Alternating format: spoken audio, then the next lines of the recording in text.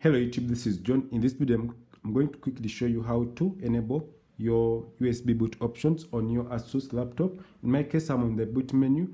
In our case, to go to the boot menu, you have when I switch off the laptop and power it on, I'll go to escape when the computer powers on, as you can see, to take me to the boot menu.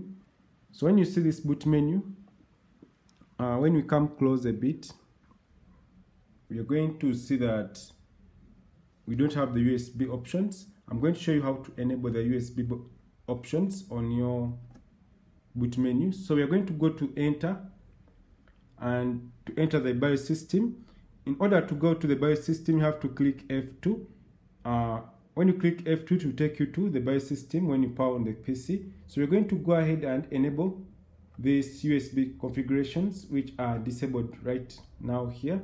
So I'm going to enable this option and also enable this plus we are good to go.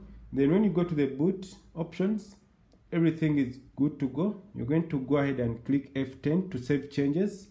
So after saving changes, the computer will reboot and we're going to click our escape. In our case to check if our Asus laptop, in your case, your laptop has seen the USB op boot options so let's check. So you can see that it has added some generic mass storage as you can see. So these are the one. In my case i'm using uh i'm going to boot with windows 8.1 on this and i'll show you how to boot windows 11 it's the same process. So thanks for watching. If this video has helpful please subscribe to this channel. Have a nice time. Goodbye